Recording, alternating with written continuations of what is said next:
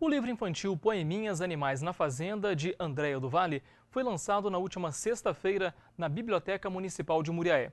Durante o evento, houve apresentação infantil e recital de alguns poemas. Tibum pra cá, tibum pra lá, até afundar.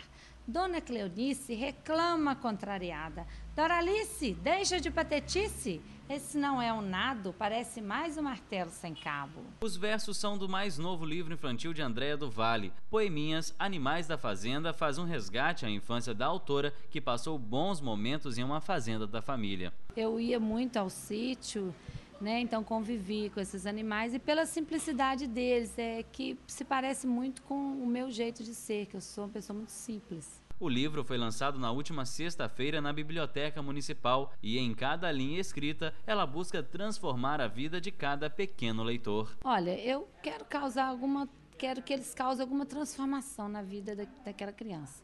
Né? Além de levar cultura para eles, é a oportunidade deles lerem bons livros. Andréia está lançando seu terceiro livro. Ao todo, 5 mil foram impressos e a maior parte foi doadas a escolas, amigos e instituições, com a intenção de facilitar e democratizar o acesso à literatura. E uma criança não gostava de ler, leu o vovô troca sílabas, né? Ela deu para ele o livro e ele, a partir desse livro, ele criou uma nova história baseada nesse livro. A professora e autora também é contadora de histórias nas horas vagas. Coloco uma fantasia e lá eu conto histórias minhas e de outros autores, né? Várias histórias. E eu sorteio os livros para as crianças uhum. lá. A Biblioteca Municipal deve ser palco do lançamento de outro livro. Então, a Renata, ela escreve, ela também ilustra o livro. Esse livro em especial é um livro que está em português e em inglês. Então, acho que vale a pena conferir, estão todos convidados. A exposição O Grande Sertão Veredas de Guimarães Rosa está à mostra na Biblioteca Municipal até o dia 31 de outubro.